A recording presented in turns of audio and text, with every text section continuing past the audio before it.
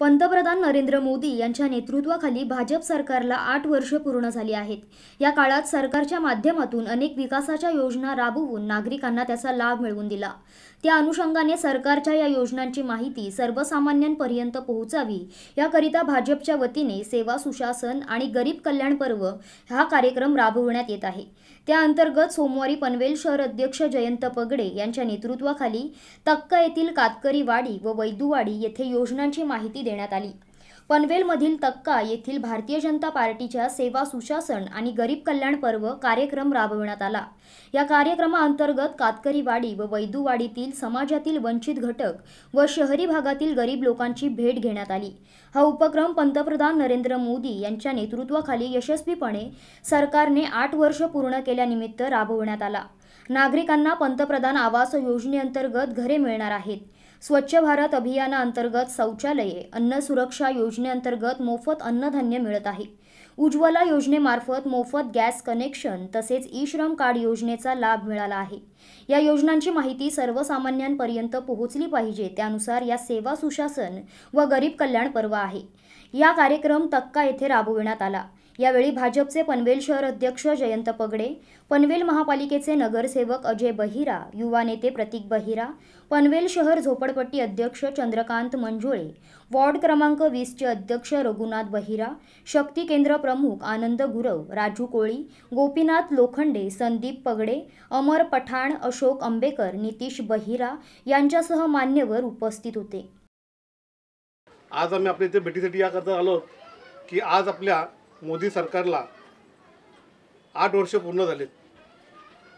आठ वर्षाच्या कालावधीमध्ये भारतीय जनता पार्टीने प्रत्येक क्षेत्रामध्ये गरजू गरीब झोपडपट्टीधारक खेडेगाव असतील ग्रामीण भाग असेल या प्रत्येक ठिकाणी कुठल्या ना कुठल्या योजनेचा मार्फत मार्फतचा भा लाभ इथल्या स्थानिक लोकांना झाला पाहिजे. या हेतूने अशा अनेक प्रकारच्या योजना मोदी सरकारने आपल्यापर्यंत पोचवल्या आहेत. त्याच्यामध्ये असतील आयुष्यमान योजना असेल मुद्रा योजना असेल जीवन ज्योती विमा योजना असेल कौशल्य विकास योजना असेल श्रमयोगी योजना असेल महिलांच्या अत्याचाराविरुद्ध केंद्र सरकारच्या ज्या योजना असतील अटल पेन्शन योजना असेल उज्ज्वल योजना असेल बेटी बचाव बेटी पढाव अशा अनेक योजना मोदी सरकार यांच्या माध्यमातून आपल्या गोरगरिबांपर्यंत पोहोचत असतात. मी आपल्याला विनंती करेन का आपण सर्वांनी या ज्या छोट्या मोठ्या ज्या आता योजना ज्या असतील त्यामध्ये लाभार्थ्यांनी लाभ घेऊन आपलं कुटुंब नि निर्वाह कसं चालेल सुखरूप कसं होईल आपल्या मुलामुलांचं आयुष्य कसं वाढेल याचा आपण प्रयत्न केला पाहिजे. आता आठ वर्ष पूर्ण झाली. मग आता आठ वर्ष पूर्ण झाली मग तुम्हाला आम्ही का भेटायला आलो आहे का पंतप्रधान नरेंद्र मोदी यांनी अनेक चांगल्या योजना गरिबांसाठी आखलेल्या आहेत? आता तुम्हाला सगळ्या योजनांमध्ये मी जाणार नाही पण आता आपल्याला कुठला कुठला फायदा झाला आहे पंतप्रधान मोदींच्या माध्यमातून. आपल्याकडे शौचालय झाली. बरोबर आहे?